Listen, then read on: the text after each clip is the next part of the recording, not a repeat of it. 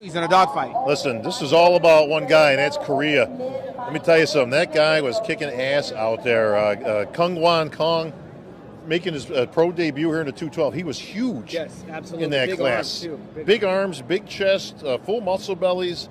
Um, he looks like he's 15 pounds bigger than anybody else out Yeah, there. And he had calves to go along with that physique. A, a former Arnold Classic Yeah. amateur champion. I don't think any of the other guys saw this guy coming. I mean, look at Yeah. uh, Sammy came from Bahrain. This guy comes from Seoul, Korea. Um, those two guys right now, I think, are neck and neck, and, and I, I'm, I'm leaning towards Kung. Uh, I, I don't think there's any question there. I mean, Sammy looks good, but this guy just looks better. He's bigger, he's rounder, he's better. I don't see any any reason why he doesn't win. So I mean, that's going to be. I think that's a one-two. I don't think there's any question. Yeah, and I 안녕하세요. 트레인 포이링의 트포입니다. 여러분이 방금 보신 영상은 강경원 선수의 데뷔전이었던 달라스 프로에서 밥 치크릴로와 숀 레이가 강경원 선수에 대해서 이야기를 하는 내용입니다. 강경원 선수는 2014년도 아놀드 클래식 오하이오 아마추어에서 프로가 됩니다. 그리고 아놀드 클래식 오하이오는 미스터 USA와 더불어서 미국에서 가장 인정하고 있는 아마추어에서 프로로 전향될 수 있는 쇼입니다. 대한민국에서는 더 이상 이룰 것이 없었던 보디빌딩계의 레전드였지만 강경원 선수의 등장은 미국 보디빌딩 팬들을 설레게 하였습니다. 그리고 그가 마이너스 96kg 212 체급의 챔피언인 플렉스 루이스의 대항마가 될 수 있을 거라 믿었죠.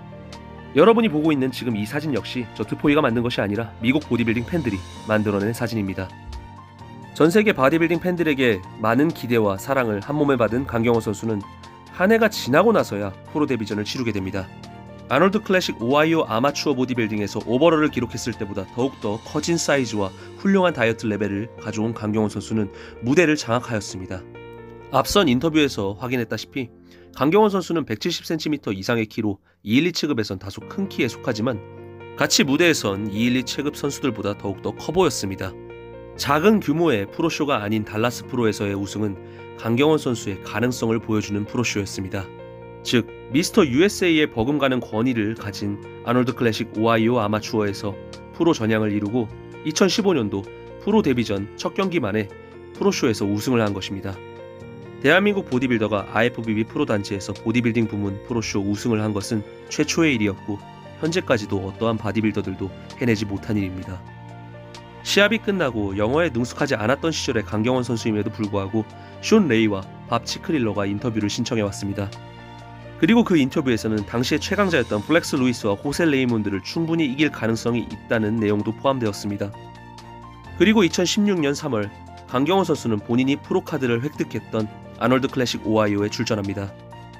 수많은 212 체급 강자들이 출전했던 아놀드 클래식 오하이오 2016년도에 강경원 선수는 5위를 기록합니다. 2014년도 가장 명망 높은 대회에서 프로 전향을 이루고 그 다음 해인 2015년도 프로 데뷔전에서 우승을 한 강경원 선수가 받은 보디빌딩 팬들로부터의 관심은 대단했습니다.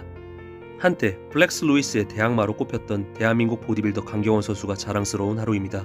트레인포이링의 트포였습니다. 영상이 재밌으셨다면 구독과 함께 많은 사람들이 볼 수 있도록 공유해 주신다면 감사하겠습니다.